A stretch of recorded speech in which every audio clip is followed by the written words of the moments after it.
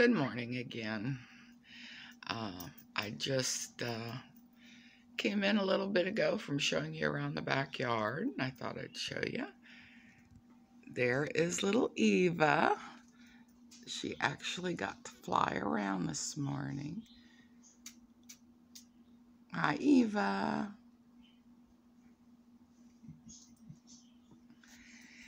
And Don just got home from his guy's breakfast. And I am doing well this morning, except for I feel like my voice isn't wanting to get started. Um, of course, I have not had my first drink of coffee. And I wanted to say good morning, particularly to Sherry, Brenda, Annie, um, Jackie, and um, uh, see, had just a couple people say something to me. Brenda, Sherry, Jackie, Annie, and I think my friend Jan's gonna watch. So I've got, I think, 54 on my list, but I haven't really heard from anybody hardly. And I know I don't have the most exciting videos, but you never know, they might improve. Even Don's laughing at me.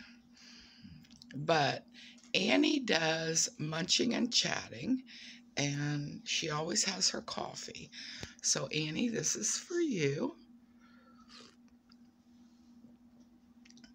And um, Sherry has a channel.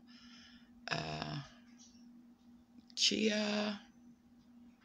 I'm sorry, Sherry. I have you on auto uh, subscribe, so you'll have to tell us the name. Chia. Chia something.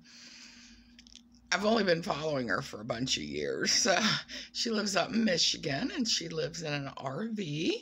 Um, they travel around, but they only move their RV from uh, one property to another, so always out in the country.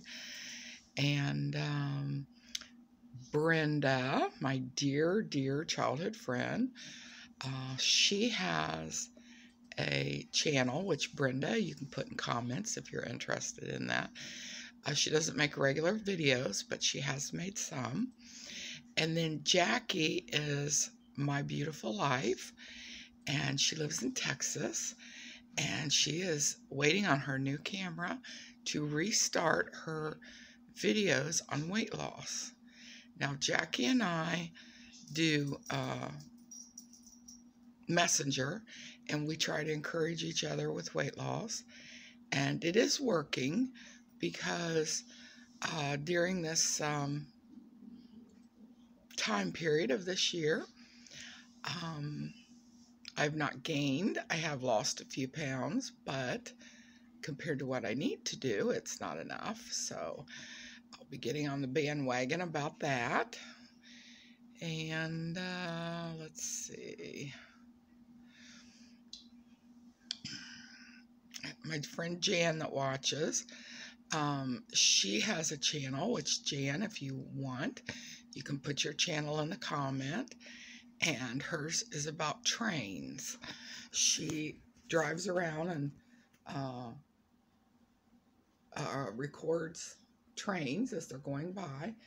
And then she records the numbers on the trains and she's very interested in trains and you can locate where the train originated from from the number so i think that's really cool my dad was a huge train buff um, his was lionel trains that he collected but he loved just trains that ran so and where i grew up in west virginia i lived between two mountains and there was a set of railroad tracks that went in front of our house down the middle of the town.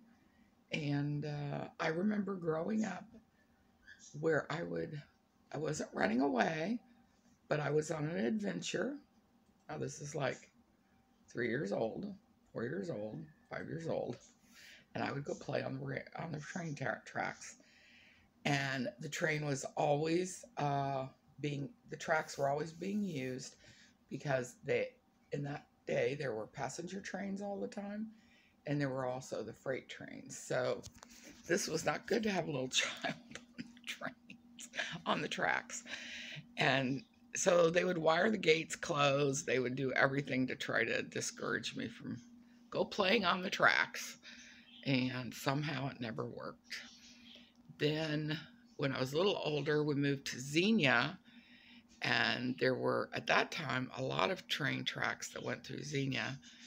And my cousins and I, two, two boy cousins, who were very adventuresome and naughty, would take me on walks through Xenia up and down the railroad tracks. So I have a lot. I don't know if you knew that, Jan, if I had shared any of that. But it's been a little over six minutes. And um, someday when I can learn to splice all these together, I can just make a decent video. But I'm going to say bye for right now. So you guys all have a good day. And Annie,